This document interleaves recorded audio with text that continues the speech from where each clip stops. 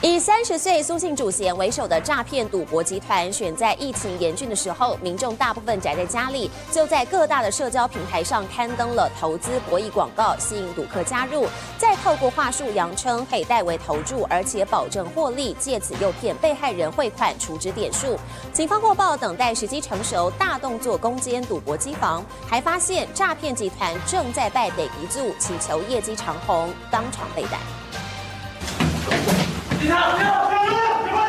霹雳小组全副武装攻坚诈骗集团，藏身在公寓的赌博机房，大批警力鱼贯而入，嫌犯根本还来不及逃，马上就被警方当场压制。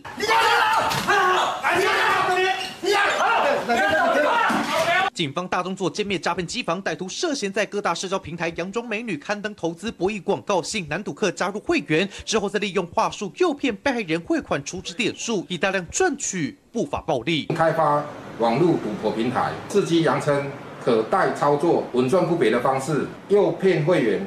汇款储值点数。警方跟监期间，全部成员一度染疫确诊而暂停营业，直到今年六月按耐不住复工，为求业绩长虹，还摆了鸡腿饭，敬茶金纸和信箱击败地基主，结果还没得到保佑，直接落网被逮。在新北市永和地区逮捕苏姓犯嫌及旗下谢姓成员共七人，想靠诈骗赚取不法之财，即便在虔诚神明也不保佑。这样事迹台中参不到。